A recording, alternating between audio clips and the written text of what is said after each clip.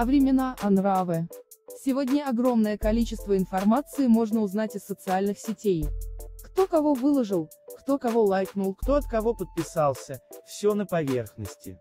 Именно поэтому заволновались поклонники Анастасии Ивлеевой, ведущей Аджент Шау, которые недавно номинировали на ТЭФе, как известно, уже больше года Настя встречается с рэпером LGM.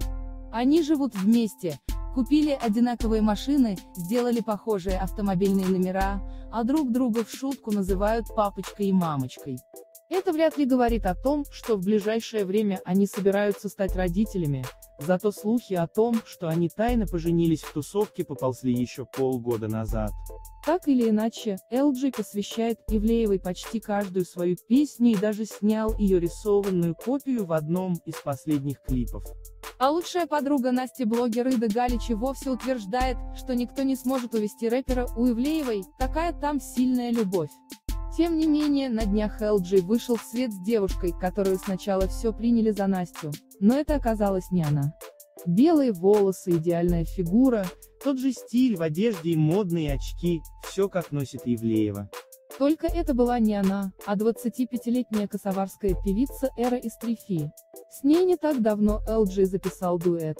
А как же Настя? А где Настя? Настя лучше.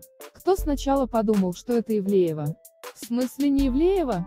И еще 1200 комментариев на те же темы.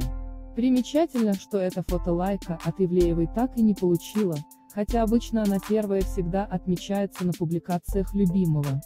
Зато фото понравилось Иде Галич, которая наверняка не стала бы реагировать на снимок, если бы тут был какой-то романтический подтекст. В общем, вроде как фанаты должны спать спокойно, это всего лишь рабочий союз.